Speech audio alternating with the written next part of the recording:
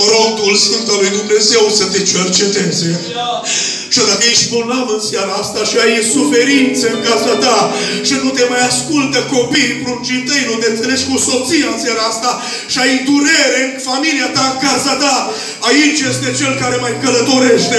Numele Lui e Samaritanul Milos.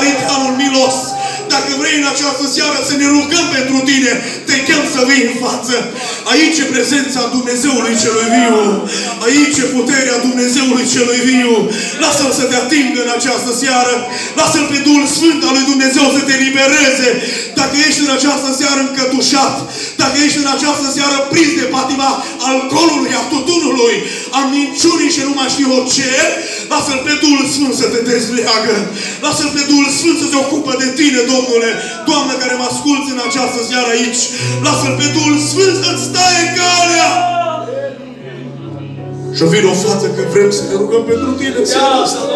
Indiferent cine ești, mic, mare, bătrân, adolescent, copil, indiferent cine ești, vin o seara asta aici.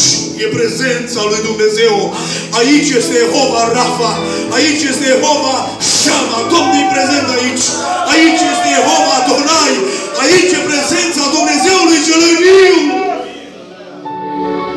ne pregătim să cântăm o cântare și noi te așteptăm în seara asta.